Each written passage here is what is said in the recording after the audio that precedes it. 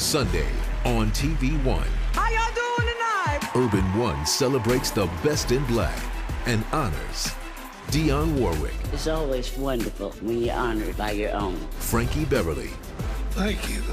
Donald Lawrence, Dreams are faith in action.